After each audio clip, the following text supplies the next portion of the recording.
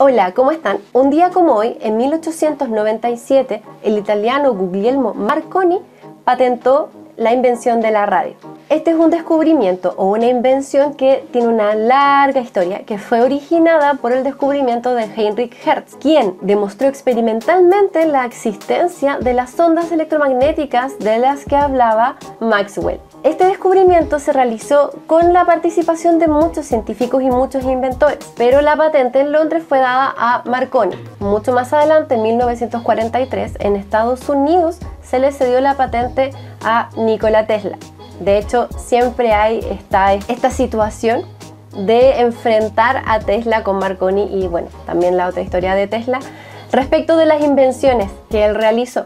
Así que pongan en sus comentarios si son Team Tesla o Tim Marconi respecto de quién se adjudica la invención de la radio. ¿Por qué nos gusta tanto la radio? Bueno, la radio logró comunicar grandes distancias de manera instantánea, por lo tanto es un descubrimiento muy muy importante y en el día de hoy vamos a ver cómo funciona una radio y también vamos a hacer una suerte de crossover o de cruce con el que hay dentro y vamos a ver también qué es lo que hay dentro de una radio.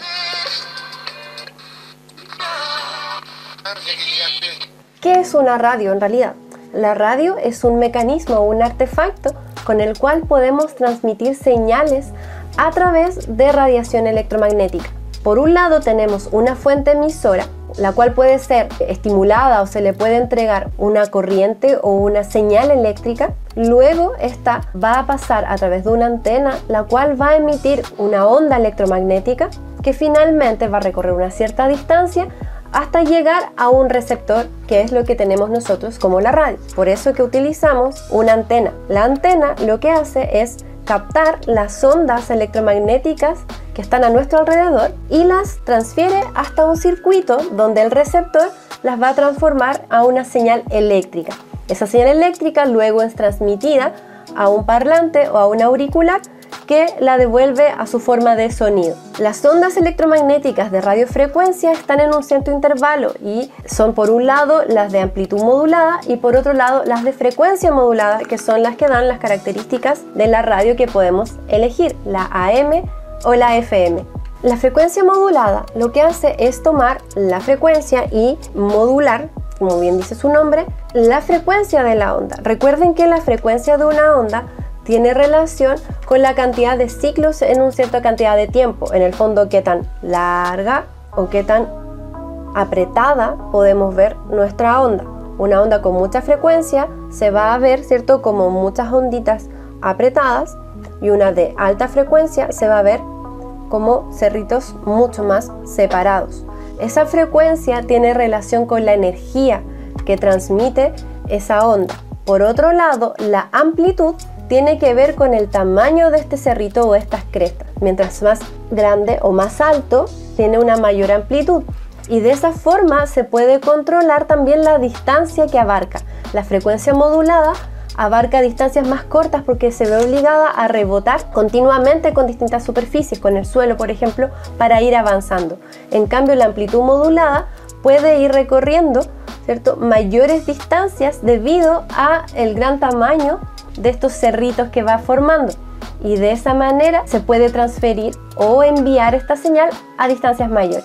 Estas frecuencias de onda son más bien bajas, si bien van entre los kilohertz y los megahertz, son frecuencias de onda bastante bajas. Por ejemplo, también la señal del Wi-Fi está del orden también de los gigahertz. Son señales con muy baja frecuencia y por lo tanto con poca energía. Sin embargo, la primera radio que existió, que fue la radio galena, es un tipo de radio que es capaz de funcionar sin energía, dado que con la energía que transmite la onda electromagnética es suficiente para que funcione. Ahora vamos a ver cómo es una radio por dentro.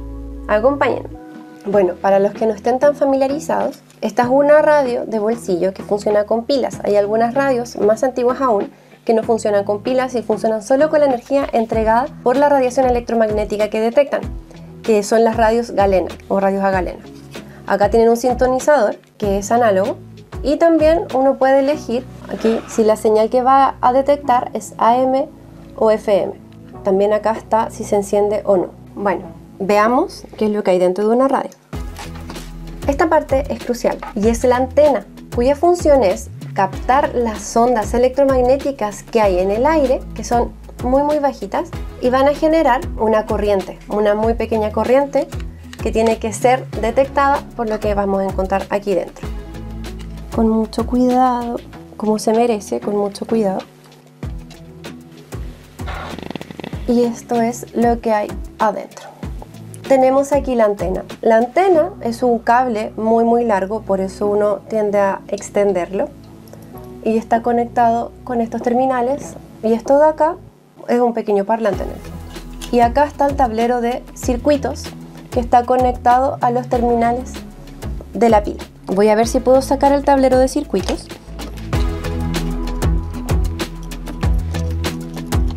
Aquí tenemos un imán que va, tiene que ver con el parlante en el fondo. Los terminales con los que les llega la señal, acá viene la energía que se da con la pila, y aquí tenemos una placa de circuitos que por un lado tiene esta parte, es la entrada para audífonos, es algo más bien moderno, y con esto se enciende la radio y con este de acá se cambia la emisora de radio. Entonces, la señal de radiofrecuencia llega por aquí, es captada por la antena y es recibida de esta manera en la placa de circuitos. Veamos que tenemos por el otro lado. Por el otro lado tenemos varios circuitos. Si se fijan acá tenemos una suerte de embobinado que está dentro de, me parece que es una pieza, eh, no es muy pesada, por lo cual pienso que podría ser estas piezas para aislar un poco las señales, ya que lo habíamos mostrado antes, que es el, la ferrita. Una radio, esta radio o una radio generada, creada hace mucho, mucho tiempo, consiste en lo siguiente. Un receptor que está en un circuito eléctrico, luego que transmite las señales por este imán y lo que se hace cuando uno cambia las eh, emisoras de radio es que uno está trabajando con un capacitor que está probablemente acá escondido, un condensador variable se llama. De esa manera, uno al girar la perillita le cambia la capacitancia a ese condensador y de esa forma uno selecciona qué onda o qué precisamente qué emisora es la que quiere oír.